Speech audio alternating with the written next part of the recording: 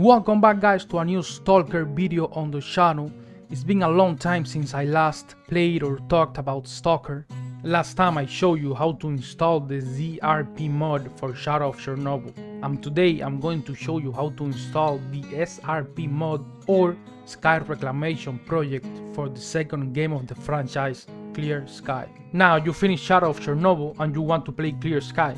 But since these games are old, mods are a must and you don't know what mods to install or what to do. Well, don't worry guys, I will help you with that. First, I must tell you that the mod we are going to install today is just an addition to the vanilla experience. Before you go for crazy HD graphics mods or anything like that, you should play the vanilla game. At least that's what I believe in. I haven't played Clear Sky nor installed the SRP mod yet, so we will be doing it together. Also stay tuned because I will be playing Clear Sky on the channel. Before we start, guys please hit the like and the subscribe button, it is a massive help to my channel. Also, Stalker 2 is around the corner. Now let's start.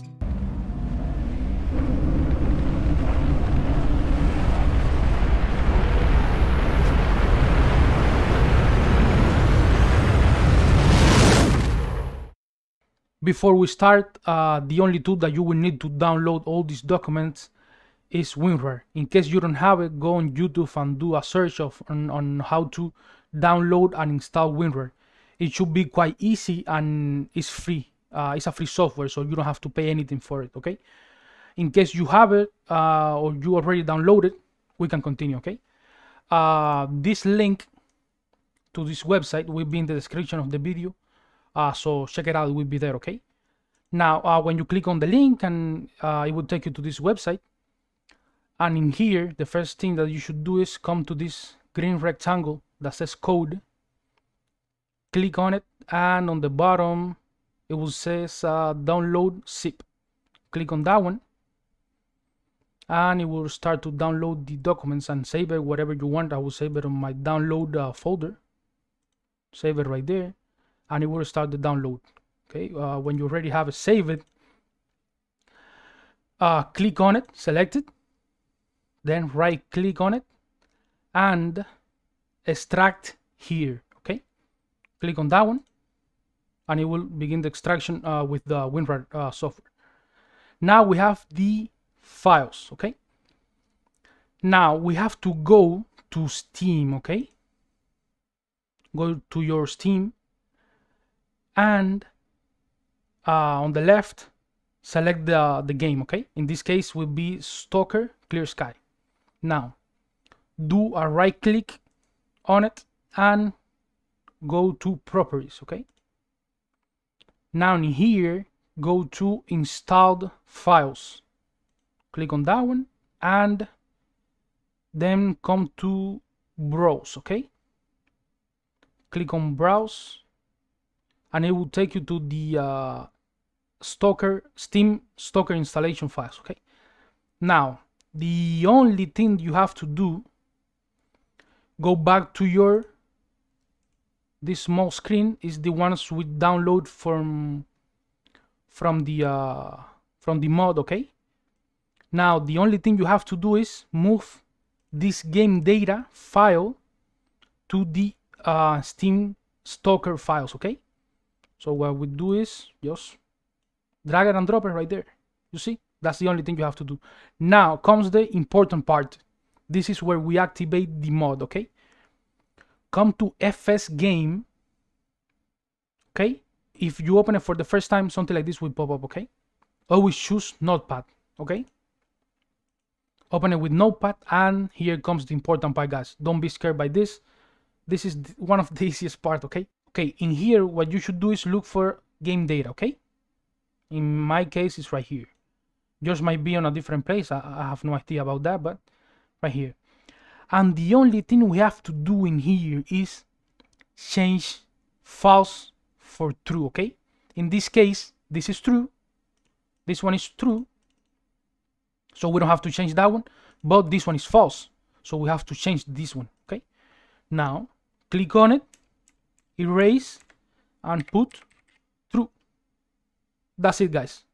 That's it of course you have to save it go, go here on file and save it. Now it's done. Now you have the mod installed. I just opened the game guys and as you can see on the bottom it says uh, SRP so that means we have the mod installed okay so we did it guys first I would like to congratulate each one of you who reached this point guys because you successfully installed the SRP mod into Clear Sky. But now we need to talk about optional features if you want to have the best experience on the game okay? There's a great resource in the folder we download from the website and it says uh, optional features and it's a text uh, document okay?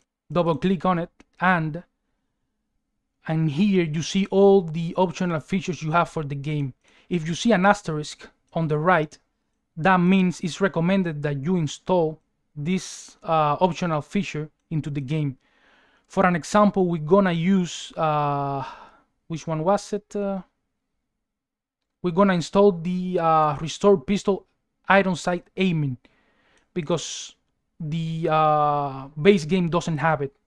You cannot aim with an iron sight. So what we're gonna do is we're gonna install this into the game. I'm gonna show you how to do that, okay? Now go back into the folder and there's another folder that we download from the website that says optional features, okay? Double click on it and you have two different folders.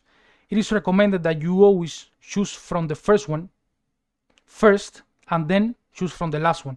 Do not choose from the last one and then from the first one because it might crash the game basically. Choose from the first one and you see all the features you have in here for the game, alright? In this game, I'm going to install the Restore Pistol Iron Sight Aiming, okay?